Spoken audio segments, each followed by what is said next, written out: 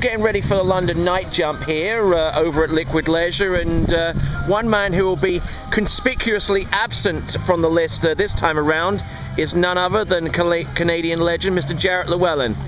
How are you doing this evening? Thanks, Tony. I'm good. I'm good. I'm watching these guys, you get a little excited about getting back out on the water. This must be absolutely killing you inside, isn't it? Killing me, Tony. Killing me. Yeah, killing you, killing you. Not being able to go out there and basically lock horns with some of these guys, such as Freddy Krueger, who's just come off the water practicing. You've got Alvaro, you've got Guillermo, you've got Zach. I mean, I mean, really, I mean, what what must be going going on down there right now?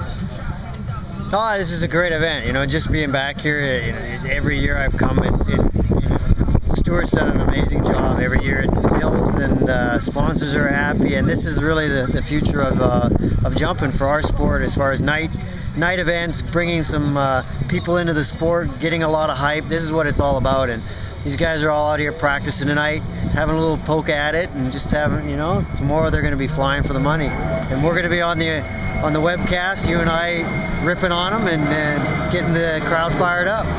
Okay, so talking about you personally, I had a, spoke to you the uh, just after the Masters or at the Masters, and then spoke to you two weeks ago. Has there been any updates as to your condition, and uh, when's the earliest you could get get back out in the water and really start hitting the wedge again? Well, I've been been in Austria for a few months training the kids, and I've been mountain biking a lot, and uh, it's just it's coming along really well. I'm I'm pretty happy. I'm uh, two months today, eight weeks today, and at three months when I get back to the States, the doctor wants to see my leg, and if everything's good and I got some size, maybe I can start skiing. I know that a lot of people thought that might be crazy, but that's just just riding my skis and just getting my twitch fibers going. And really, I got till the another three months of uh, hard hard time in the gym and, and getting some size and but really the season's basically finished for me and I'm, I'm trying to get ready for Moomba for next year and the World Champions and Championships that'll be in Russia. So uh, if, if anything uh, this was a year off for me and I, hopefully I come back stronger and better next year and also your son as well, who uh, sustained an injury last week. On Wednesday, he broke his femur uh, trick skiing whilst landing a flip twist. Uh, tell me how how that came about, what his condition, and what's the prognosis for his future participation.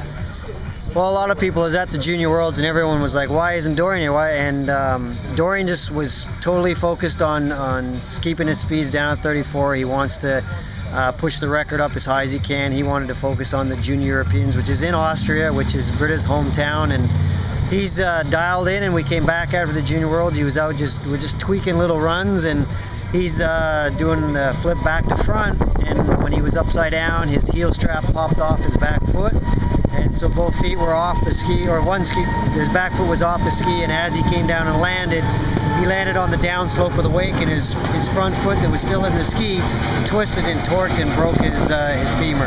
And uh, it was absolutely horrendous for me. Uh, nothing I would ever want, you know, to go through. You know, for a parent, it's unbelievable. And uh, but what's amazing is he did it at one o'clock. By five o'clock, he had an operation to put the pin in, and by 10 o'clock the next morning, he was walking. So um, he's going to miss the tournament, which is really hard. It's uh, you watch the kids train as hard as they do, and then when you uh, all of a sudden get the rug pull out from underneath you, it's it's hard. And it's he's going to be at the tournament watching, and it'll be hard for him. But he's already he's got a pretty good attitude. He's already pumped. He says, "I'm going to go home and I'm going to train as hard as I can this winter, and I'm going to be ready for next year." So he's taking it really well, and um, it'll be two months uh, hard getting back into it.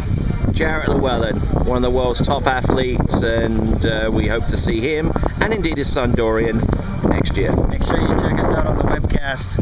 Check in because the sport is uh, this is where it's at.